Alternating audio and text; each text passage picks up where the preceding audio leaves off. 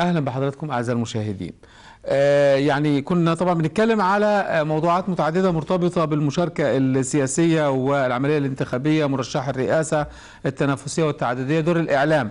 ومنها يعني التقرير اللي إحنا تابعناه ده وفي دور مزدوج هنا إن إحنا نذيعه على الشاشة ده دور الإعلام. إنه يبقى في آه، ندوات آه، وده أيضا شكل من أشكال الإعلامي وده طبعا يفيدنا فيها المستشار الإعلامي أو نقول مسؤول الإعلامي لجامعة أسوان. أستاذ أحمد أشكال أو القوالب الإعلامية وتغطيتها للأحداث وشايف دور الإعلام في الفترة دي إيه؟ هو العملية الإعلامية بتلعب دور كبير في الانتخابات من نعم. أول أو من أول أول حاجة التوعية. نعم. توعية المواطن بأي برنامج انتخابي أو رئاسي لكل مرشح من المرشحين الأربعة نعم. ده دور إعلام. نعم. أنا أعرف إيه أقيم المرشح اللي قدام من خلال إيه؟ من خلال البرنا- البرنامج بتاعه من خلال دور الإعلام لما يلقى عليه الضوء. يقول لك الراجل ده هيعمل لك كذا وكذا وكذا وكذا مم. المرشح ده هيعمل لك كذا وكذا وكذا مين اللي هيوصل المعلومات دي الإعلام سواء نعم. من خلال يعني الأشكال المختلفة مختلفة. الإعلام واللي هي مثلا من خلال برن- برنامج تلفزيوني برنامج إذاعي آه، منصات التواصل الاجتماعي ال- المواقع الإلكترونية الصحف آه، الندوات. والندوات ال- وأصبح حاليا وأنا على فكرة بشكر الدكتور محمود عنبر على المشاركة في هذا التقرير نعم. والمعلومات القيمة سياسيا واقتصاديا. ده دور الجامعة. آه دور جامعة أسوان هو آه. أستاذ دكتور بكلية التجارة جامعة أسوان. نعم. فيعني إنك توصل معلومة للمواطن مباشرة في ندوة زي كده فده شيء كويس. دور يبقى دي النقطة المهمة اللي حضرتك ذكرتها الأولى وهي التوعية. التوعية. يعني في توعية بالمشاركة السياسية زي ما إحنا شفنا في التقرير. وأهمية ومشاركة المواطن السي- السياسية أو تعزيز لديه هذا الحس الوطني من خلال منصات الإعلام. نعم. آه، ودلوقتي في إعلام يعني مش لازم في الإعلام نتخذ الإعلام التقليدي سواء كان في الانت- الدعايه الانتخابية سواء في التوعية سواء في ال- لأن الإعد- الإعلام التقليدي يعني اللي هو اللي هو تحت مظلة الصحف الورقية آه، المواقع ال- لكن الإعلام اللي هو دلوقتي أصبح ال س- ال social في أشكال مختلفة في ال social دي ميديا اللي هي مثلا الفيديو آه، الصورة آه، لقاء آه، يعني الحاجات اللي هي بتذاع على الفيس ما وده مكمل لبعض ده أستاذ احمد مكمل عايزين. نقول إيه يعني لما لما آه، آه، يتعمل لقاء مع الأستاذ أحمد أو تتعمل ندوة آه. وبعد كده تبقى موجودة ليها مقاطع على على يوتيوب أو موجودة أيوة. فإحنا يبقى آه، انتقلنا من مرحلة الإعلام التقليدي لمرحلة ال social media. وهكذا. آه، آه، حضرتك لما حد بيتابع ويحضر الندوة مثلا وبيصور أو يعمل بث مباشر أو مظبوط. لايف بيبقى برضه بي- بيشارك. ففي آه، أصبح الإعلام الآن يعني أصبحت الناس ما فيش حد بيقدر نقول ما فيش حد يقدر يخبي حاجة. كل حاجة أصبحت مع- آه، آه، موجودة ومتاحة آه، والإعلام أصبح له أشكال مختلفة ومتعددة في كل أنحاء العالم. إحنا دلوقتي حضرتك بنعيش في فترة السموات المفتوح. آه. يعني دلوقتي ما فيش حد يقدر يقفل على حاجة. أو يوصل الحاجة اللي عاوز يوصلها هو بدماغه يعني. توجيه معين لا. أو توجيه صحيح. آه فإحنا دلوقتي إحنا يعني كل حاجة يعني آه، من خلال منصات ال- الإعلام سواء زي ما قلت لحضرتك سواء مقروء أو مسموع أو مرئي آه، ده كله الناس بتتابع. ودلوقتي أصبح أسرع وسيلة لل- لل- للمعلومة اللي هو التواصل المنصات الإلكترونية والفيسبوك والتويتر وال ال social media ال social media بشكل عام بشكل عام. بشكل عام أصبحت أقرب للمواطن. طيب. يعني بتصل بسرعة. صحيح. يعني من من من النقاط الهامة لما الزملاء لنا تقرير من سوهاج هنتكلم عن التعليم. يعني نقول إنه عندنا تقرير عن ال عن التعليم وعن الخريجات والطالبات المؤهلات لسوق العمل والمنافسة. آه، الزملاء في سوهاج قعدوا لحد ما يجهز في الاستوديو.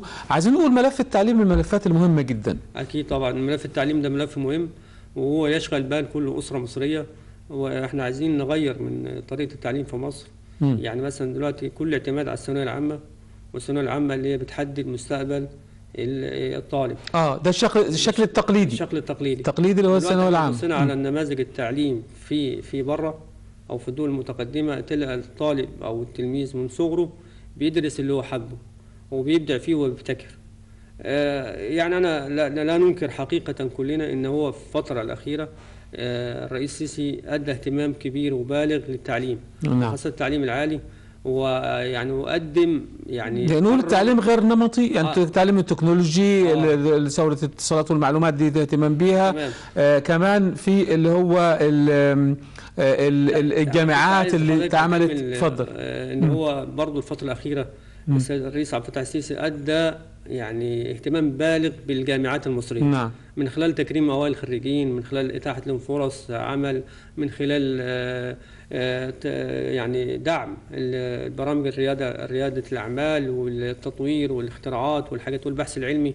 فالحاجات دي كلها خدت يعني مكانة كويسة في الدولة المصرية حاليا. إنما هنتكلم يعني التعليم بأشكاله مختلفة في التعليم ال- ال- التكنولوجي وده التعليم مهم مم. لأن هو التعليم ده أصبح دلوقتي هو المطلوب في سوق العمل مم. وأصبح دلوقتي التنافسية أصبحت بين الجامعات المصرية والجامعات الأخرى فلازم الخريج يبقى إيه مؤهل لذلك مؤهل بذلك بمعنى ان هو يكون خريج مكتمل وعنده آه عنده رؤية في في اللي هيشتغله آه. أنا ما دلوقتي أصبح ما فيش حد بي بي يعني خريج بيشتغل تخصصه دلوقتي في اللي هي المهارات الم- المكتسبة يعني التدريب آه، التدريب التحويلي زي ما تدريب بنقول التحويل ممكن. آخد كلية آه، معينة بس معينة بس مش موجودة في سوق العمل آه،. آخد تدريب عليها آخد تدريب وده اللي حصل يمكن في عمل اللي إحنا اتكلمنا عن رئيس رئاسة الوزراء ومعرض ICT اللي هو. نابت عن وده- عن سيد الرئيس كان بيتكلم عن انه في خريجين بيشتغلوا في مجالات أخرى بس بياخدوا وزارة الاتصالات مجال المعلومات. عملت تدريبات على الموضوع. ده. حتى جامعة أسوان في حاجة معينة. مركز آه، مركز مصر آه. هو بالظبط. مركز مصر مصر ده الرقمي ده مهم جدا. وبيدي دورات لأبناء أسوان ومحافظات جنوب أسوان. دورات في ريادة الأعمال وفي التحول وفي الشغل من خلال البيت. بياخد دورات ومجانية كلها من آه، خلال وزارة الاتصالات ومن آه، مؤسساتها زي معهد القومي الاتصالات آه. أي تي ده بعض الشركات اللي تبع تتبع وزارة الاتصالات بيدوا المحاضرات دي والتدريب سواء كان طالب هندسة طالب تجارة طالب آداب طالب آه، أي كلية من كليات ال ال 19 اللي عندنا. فبياخدوا الدورة دي بتأهيله لسوق العمل. من خلال ممكن يشتغل وهو من البيت. من خلال اللاب بتاعه وبيشتغل على شركات عالمية. من خلال الحجوزات وشغل يعني إيه كله آه، إلكتروني. فدي برضه نقطة تحول أصبحت حتى في مفهوم شبابنا وخريجينا ما- أصبح ما ينتظرش فرصة العمل الحكومي زي الأول يستنى بعد ما يخلص آه، القوة العاملة تبعت له ومش عارف يستلم شغله في مدرسة ولا إذا كان في مؤسسة حكومية ولا غير. لا أصبح دلوقتي الفكر نفسه اتغير لدى الشباب ولدى الخريج ولدى ولدى الطلاب نفسهم. ليه؟ لأن أصبح دلوقتي في دمج بين التعليم النظري والتعليم اللي هو إيه؟ العملي. يعني اللي هو بيأهل الطالب أو الخريج ببعض المؤهلات والكورس التدريبي لسوق العمل وأصبح الطالب ليه بيجد نفسه بيحب حاجة معينة بيشتغل عليها وبياخد عليها كورسات وتدريب وبيشتغل ويوجد نفسه هو فرصة العمل مش مستني حد يو- يوظفه أو يأهله يعني صحيح طيب موضوع التعليم الصناعي برضو إنه يبقى ده, ده ده حاجة التعليم الفني والاهتمام قضية بيه كبيرة آه. والتعليم الفني التعليم الفني ده مهم جدا مم. وإحنا يعني المفروض كنا اشتغلنا عليه من بدري بدري ليه؟ لأن التعليم الفني ده أصلا يعتبر هو اللي. هو اللي بيأهل ليك الحرف الناجح يعني انت عايز يعني عايز تعليم زراعي عايز تعليم صناعي عايز تعليم. مشتقات مشتقات. يعني التعليم الفني ده انت عارف حضرتك يضم تعليم كهرباء الفن الصناعي تعليم فني تجاري مم. تعليم فني آه، زراعي مم. فكل مشتقات التعليم الفني دي والحرف والحاجات دي كلها اللي انت لما تأهل المدارس الفنية اللي عندك الخمس سنين نظام الخمس سنين وثلاث سنين ومعاهد الفنية تأهلها خريج أو آه، يعني حرفي آه، ناجح. أو ممتهن فأنت يعني حتى يعني العملية دي بت- بتوفر معاك كتير. لأن هو لما هو يكون فاهم هيوفر معاك أنت كمواطن آه، السلع والحاجات التسليح والحاجات دي كلها بتتم. آه، خلي بال حضرتك طبعا الحاجات دي كلها المفترض إن وزارة التعليم العالي والتعليم الفني ده مهم جدا لأنه هو لما هو يعني يعتبر الورش والحاجات دي كلها وسوق العمل والمصانع لما أنا يطلع لي خريج كويس من التعليم الفني أصبح أنا هستعين بيه. أيوه لسه مش هدرب ولا اعلم وسوق العمل محتاج محتاج بالظبط لأن عندنا إحنا مصانع وعندنا حاجات وورش عمل وأنت كمواطن محتاج مثلا سباك أو كهربائي أو مم. غير ذلك في مم. أي أي يعني حرفة مم. فلما يكون صناعي فاهم وعارف شغله هيوفر عليك أنت كمواطن بدل ما ابوظ لك الحاجة ودي غيرها ومش عارف إيه ده, ده, ملف مهم لك ملف تاني بالظبط ده ملف. التعليم آه. طيب آه، نقطة أخيرة مع الأستاذ أحمد عايزين نقول المشاركة السياسية. برضو عايزين لازم نقول الحث على المشاركة وأهميتها بالنسبة لفئات الشعب المصري المختلفة وتواجد المصريين وأهمية ده في نقل صورة حقيقية وصورة آه، نفخر بها على مستوى العالم. كلنا آه، حتى لما يكون في دولة فيها انتخابات كلنا بنركز على إيه؟ هل في إقبال؟ هل في ناس واقفة رايحة اللجان؟ هل في آه، نسب نسب المشاركة؟ بنتابع الحاجات دي العالم كله بيتابعها. ولها أهمية وثقل بالنسبة لأي آه، دولة آه، إنها عندها آه، شب- شباب عندهم وعي عندهم مواطنين بيحبوا. بلدهم. اتفضل هو حضرتك طبعا ال- العامل الرئيسي في الموضوع أو السباق الرئاسي ده العامل الرئيسي فيه المواطن المصري. نعم. المواطن المواطن المصري بكل إيه فئاته. عندك يعني الشباب ودي فئة كبيرة ومستهدفة. ولاقت اهتمام كبير في الفترة الماضية يعني يعتبر تشكل عندها وعي لأن اتعمل لها أكثر من برنامج اتعمل لها أكثر من مؤتمر. آه، في ثقافات دخلت على الشباب المصري عرف إزاي آه، أهمية الوطن وأهمية الحفاظ على الوطن والمشاركة السياسية. دي حاجة. الحاجة الثانية عندك المرأة. المرأة دي برضو بتمثل دور كبير في المشاركة السياسية. وفي الاقتراع وفي وجودها على الصندوق. لأن المرأة ليست نصف المجتمع إنما هي ثلثي المجتمع لأن هي الأم والبنت والأخت. فمشاركة المرأة دي أمر رئيسي وهام. لا يعني إحنا بن بننادي من هنا إن المرأة كلها تخرج في يوم الاقتراع وتشارك على مدار الثلاث أيام يوم 10 و11 و12 ديسمبر. آه، لأن هي دورها مهم ومشاركتها مهمة في اختيار آه، رئيس مصر.